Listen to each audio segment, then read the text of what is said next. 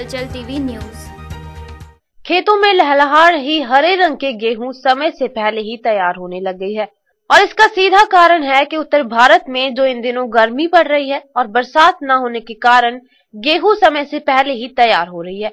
और ऐसे में गेहूँ में जो दाना पड़ रहा है, उस छल्ली में बहुत बारीक दाना है, जबकि ज़्यादातर छल्ली तो इस बार खाली ही रहेगी। किसानों की माने तो बरसात न होने के कारण वह दिन रात बादल देखते रहते हैं और ऐसे में बरसात होने का नाम नहीं ले रही। ऐसे में यहाँ किसान हर साल एक एकड़ में 12 से 15 क्विंटल गेहूँ निकालते थे, इस बार उसका आधा ही रह जाएगा।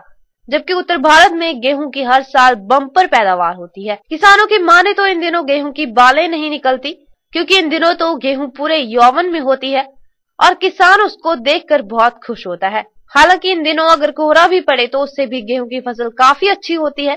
लेकिन ऐसे में यहाँ समय से पहले गेहूँ पककर तैयार होने लग गई है। तो गेहूँ की बालें, जिसे छल्ली भी कहा जाता है, उसमें दाना भी नहीं होगा। अगर होगा तो वह बहुत बारीक होगा। यदि गेहूँ जब पककर तैयार होगी अगर तब बारिश होती है तो किसानों के लिए और भी मुसीबत भरा काम होगा। इसमें सफ़ेद बाल आएगी जी कुछ। इसमें जो समय से पहले है वो उड़ रही जी, इसका नुकसान हो रहा बहुत ज़्यादा।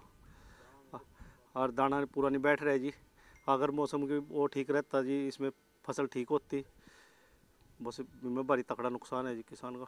इस इन दिनों में जी ठंड मौसम ठीक होना होता जी सबसे बढ़िया बात रहती फ़सल के लिए। तो इससे पहले गर्म हो गया तो क्या नुकसान इसमें सफ़ेद बाला निकल गई जी वो जो झाड़ में है जी बहुत तकड़ी कमी है जी। तब स्प्रे जो हम कर रहे हैं अभी देखा पीछे हम सप्रे करवा रहे हैं तो उसमें स्प्रे करवाने से भी दो दो बार सप्रे करवा दिया लेकिन तब भी अड़ नहीं मर रहा है।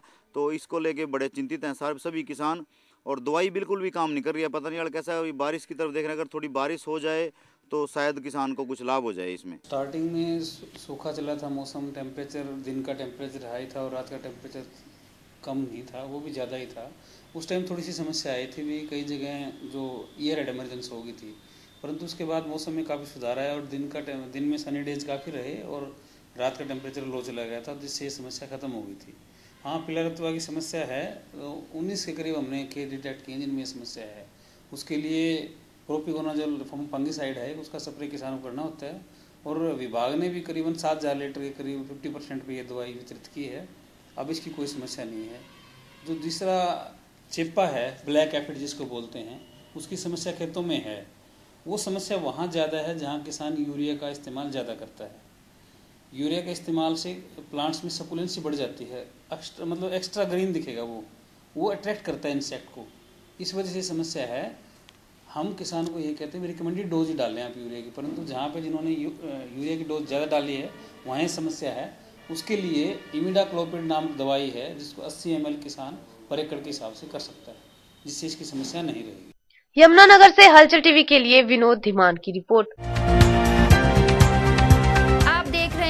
हलचल टीवी न्यूज़